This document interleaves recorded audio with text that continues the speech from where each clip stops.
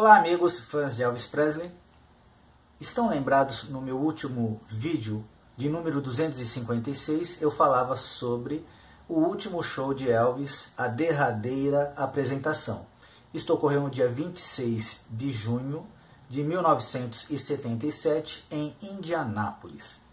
E também falava sobre a confusão que é feita com o especial de TV da CBS que foi ao ar logo após a morte de Elvis e que é muito confundido como sendo o último show de Elvis. Só que o especial da CBS é mesclado de dois shows. Um do dia 21 de junho em Rapid City e outro em 19 de junho em Omaha. Esses dois shows foram gravados na íntegra e a edição final para o, o especial de televisão é extraída desses dois shows. Mas Elvis, então, é, depois do dia 19, depois do dia 21, fez o último show lá no dia 26, que esse show não foi gravado profissionalmente. Existem algumas imagens, existe áudio, mas é, de, o áudio é gravado de, da audiência né? algum fã gravou, e as imagens provavelmente a mesma coisa. Então é, eu quero. Eu, eu, eu, senti que mesmo no, no vídeo anterior as pessoas ainda ficaram em dúvida. Então eu quero deixar claro que o especial da CBS é, uma, é mesclado desses dois shows que eu acabei de citar e não foi o último show, ok? Quando você assiste o especial, é da última turnê, mas não é o último show. E hoje, é, através do livro dos Stanley e também um trechinho do livro de Priscila, eu vou trazer, eu montei o vídeo de hoje para nós e vamos saber um pouquinho mais como Elvis se sentia, como estava o clima ah, na expectativa é, do, do, especial que Elvis iria gravar, quer dizer, iria é, o especial seria extraído dos shows e ele iria ser apresentado à TV em rede nacional para o público americano, coisa que Elvis não fazia desde 1973, que foi a sua última aparição na televisão. Elvis reúne uma coleção de sucessos na telinha. Suas apresentações no começo da carreira, é, mostrando Elvis de costa a costa, é, projetaram Elvis é, nos, é, foi de enorme importância para é, disseminar Elvis pelo país. Também depois, na sua grande volta em 68, foi na televisão é, que Elvis fez um, um, programa que hoje é considerado histórico, o Comeback 68. E em 73, o ápice, que foi sua apresentação via satélite, em tese para o mundo todo, Qualquer dia eu explico um pouquinho mais sobre é, por que eu estou falando em tese, mas em tese foi é, transmitido ao vivo para o Globo. Só que agora Elvis, me perdoem os fãs, mas isto é visível, é público e notório, estava em péssimo estado e não sou eu que falo, as pessoas que estavam com Elvis é, diziam que ele estava muito, muito mal nessa última turnê físico e mental.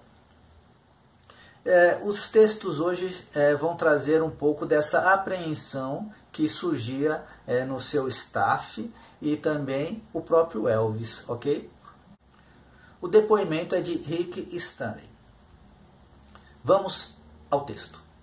Esperando pelo momento combinado, Rick definhava nos bastidores com o chefe. Enquanto as pessoas, pressionadas como sardinhas, nas primeiras fileiras contra o palco, fixavam seus olhos nas laterais, antecipando a entrada do rei. O cântico se intensificou. Queremos Elvis, Elvis, Elvis, assumindo a cadência atemporal de encontros em massa como grandes eventos esportivos, convenções políticas ou um concerto de Elvis Presley. O palco foi iluminado mais uniformemente do que o habitual pela equipe de televisão da CBS para filmar o concerto para a posteridade e a visualização em horário nobre. de acordo com um contrato lucrativo entre os executivos do Coronel e da CBS. Em toda parte, grandes luzes de estúdio foram colocadas estrategicamente para facilitar as condições perfeitas de gravação para os cinegrafistas, transformando o palco em uma sauna fluorescente. Era 21 de junho de 1977 e estava abafado em Rapid City, Dakota do Sul. Uma equipe de documentários esteve febrilmente ocupada durante todo o dia recebendo imagens de fãs de Elvis para um prefácio especial para performance ao vivo. Os leais e adoradores mais fiéis de Elvis declarariam seu amor eterno e explicariam por que o seguem em tais cidadezinhas no centro-oeste apenas para estar no concerto. Eu trouxe minha filha comigo, explica uma senhora fã. E eu sempre falei sobre como ele era grande quando eu estava crescendo. Então ela não tinha ideia de quem ele é. E uma criança não pode crescer sem conhecer Elvis.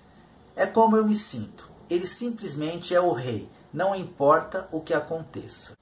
Elvis estava de pé ao lado da ala direita antes de fazer a entrada especialmente designada para os cinegrafistas. Vestido e preparado para seguir, como de costume, vestido naquela noite com um macacão bege amarelado. Verdade, a gente tem a impressão que os macacões de Elvis são branco, branquíssimos, né?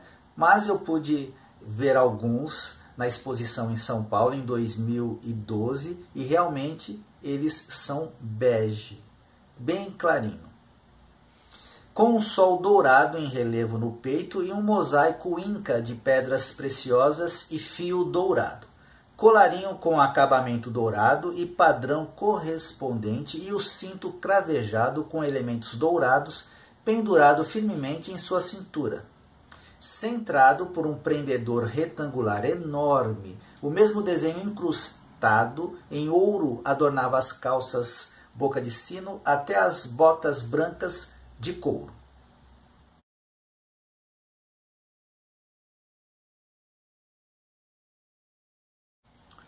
O chefe parecia completamente absorvido durante o tempo em que Rick esteve ao seu lado. As luzes de palco dançavam sobre o violão Martim, que pendia do seu ombro. Seus cabelos estavam borrifados com spray e penteados cuidadosamente para trás. Seu queixo invadia o colarinho. Tudo parecia pronto para o início, mas algo parecia diferente naquela noite, porque Elvis estava apreensivo. Rick sabia que as câmeras estavam fazendo a diferença. Era a primeira vez, depois de um longo tempo, que Elvis estaria frente às câmeras. Suas tentativas de perpetuar sua mística de sexo e poder terminaram em fraca autoparódia. A revista Variety tinha proferido. Veja, e isto também vai é, de encontro com o que a Priscila diz aqui em seu livro. A classe, charme e orgulho que durante os últimos oito anos haviam caracterizado as apresentações ao vivo de Elvis Presley beiravam agora a paródia. A Variety continua. Elvis não está com bom aspecto e nem soando bem. Ele está 30 quilos acima do peso, está inchado, com o rosto branco e piscando, piscante contra as luzes. E o que parecia estranho é que as câmeras, parceiras da carreira de Elvis por longo tempo, agora pareciam intrusos frios, até mesmo adversários Elvis estava cansado, perturbado, devastado pelo uso abusivo de medicamentos e extremamente obeso. Sua aparência estava terrível e ele sabia disso. Pela primeira vez em sua vida, ele teve que se apresentar para o escrutínio público sem o benefício de sua boa aparência. Sabendo que as câmeras refletiriam de forma antipática tudo o que tinha acontecido com ele e tudo o que ele havia se tornado, ele se sentiu nu. Pessoal, há quem diga que se esse especial tivesse ido ao ar com Elvis ainda vivo, isso seria mais prejudicial do que benéfico para sua carreira. Mas, eh, como Elvis havia morrido quando o especial foi ao ar, havia morrido há poucos dias. É, isso se tornou de comoção mundial. Vernon Presley ficou na frente da plateia, sabendo o quão importante e difícil a noite seria para seu filho. Ele parecia frágil e pálido desde o ataque cardíaco, e Elvis anunciou durante o show como era bom ter seu papai de volta na estrada com ele desde a sua enfermidade. Ele também apresentaria Ginger Alden como minha nova namorada e ela se levantaria para desfrutar a estimulante atenção da exposição nacional.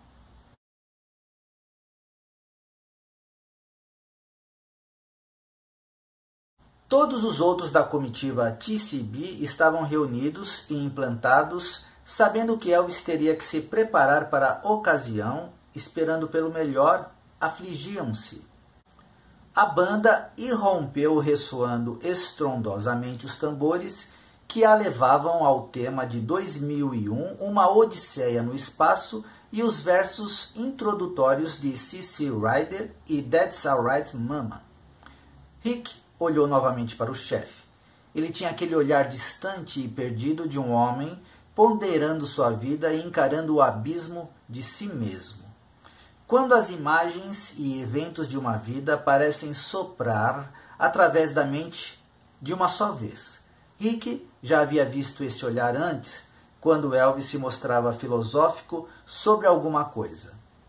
Ainda assim, ele se perguntou o que estaria passando pela mente de Elvis.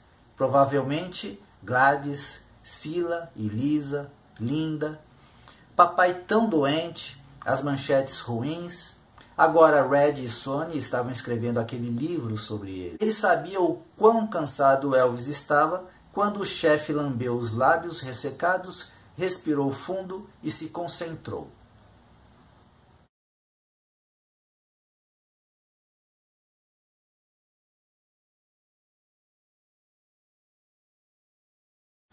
Elvis franziu a testa tristemente e se virou para ele. Sabe de uma coisa, Rick? Talvez eu não pareça muito bem para o especial de televisão esta noite, mas ficarei bem em meu caixão. E com isso, Elvis Presley saiu para enfrentar a América pela última vez. Então aqui eu vou fazer um adendo.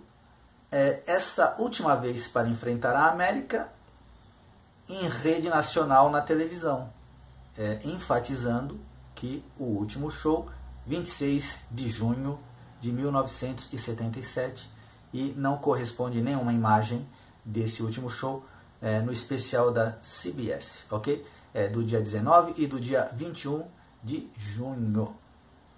Pessoal, meus amigos, Elvis Forever.